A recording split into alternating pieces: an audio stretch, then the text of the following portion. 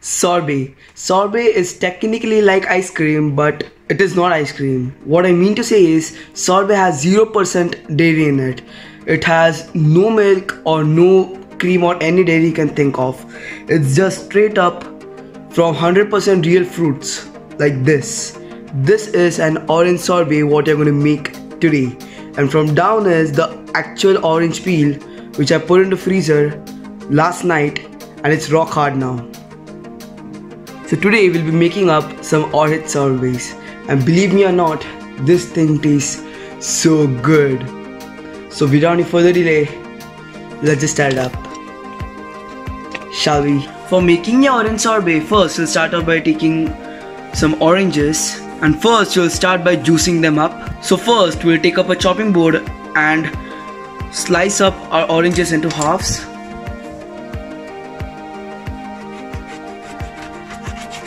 You can also buy pre-made orange juice which usually comes in tetra packs but the fresher the oranges the better your sorbet will taste. First, then we'll start by juicing up our oranges.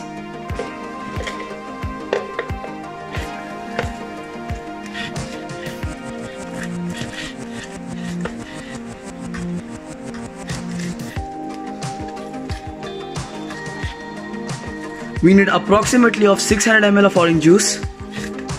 For juicing your oranges, you can also use electronic juicers or hand juicers like this.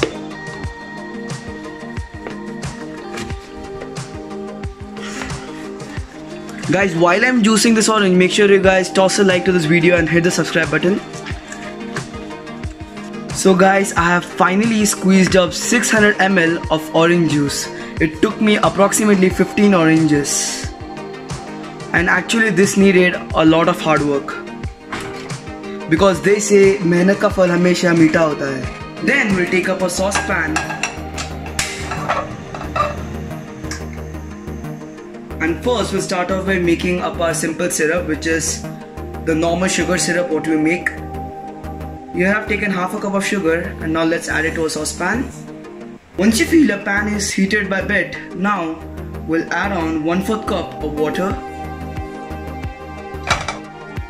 and we'll wait until all of the sugar dissolves and keep your flame on medium. Once you see your sugar is nearly to dissolve, now we'll add on some orange zest.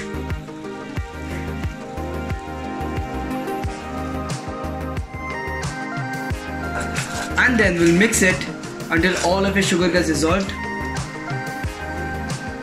Once your sugar syrup is ready, it should look somewhat like this and now we'll wait until it cools down. Once your sugar syrup completely cools down, now we'll take up a bowl and first in that we'll start off by adding our 600 ml of freshly squeezed orange juice.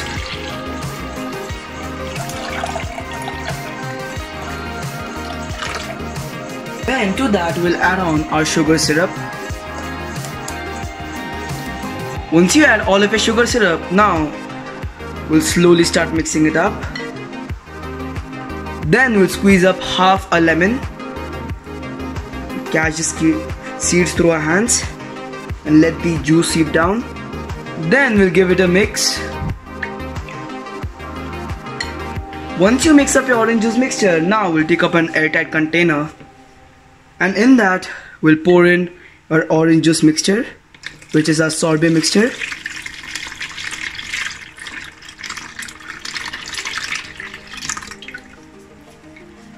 There you go.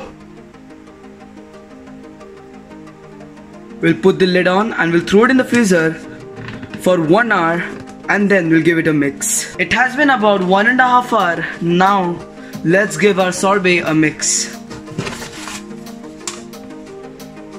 You will see small small crystals on the side.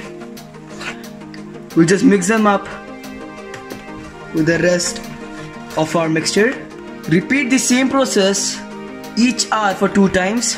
Once you mix it, it'll go back in the freezer. And do it once more after one hour and then leave it in the freezer overnight for 10 hours. It has approximately been 10 hours and now let's check on our sorbet. Just look at that glossy color. And now it's time to serve this bad boy up. So here I've taken some orange peel cups which I just cut this oranges in half, remove the juice of it and put this in the freezer overnight. It's rock hard.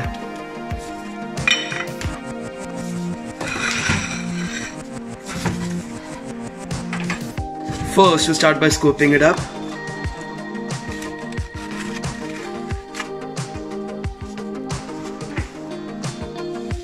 Once you take a scoop, we'll take up our orange peel and just serve it like that.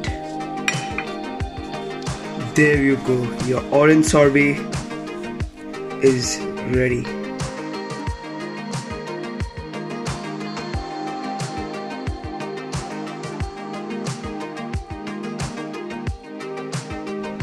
Guys, while you're scooping, you'll notice that some of the large crystals are coming out. If you want, you can just throw them into a blender and that'll be into small crystals and then put it the, put it back in the fridge for about 8 to 10 hours. But I like to have the large crystals, so I'm just eating it like that.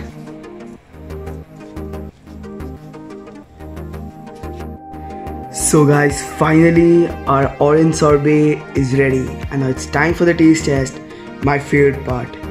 These are the large crystals format. If you don't like the large crystals format, just take the sorbet out and put it into the mixie grinder, pulse it. Once you see the small small crystals coming back, put it back to your airtight container and freeze it back for 10 hours and you'll have that amazing smooth texture. But I'm not for the smooth texture guy. I'm the guy who loves the large large crystals because those flavors into your mouth evaporate like anything. Now let's take a bite.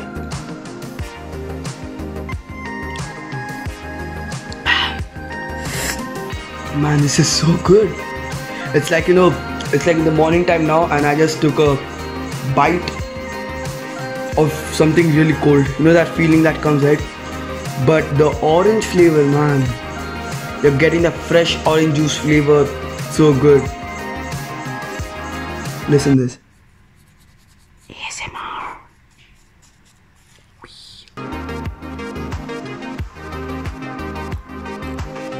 Super cold, super tasty, and super refreshing. Make sure you guys try this recipe at home and let me know how was it made. Hmm.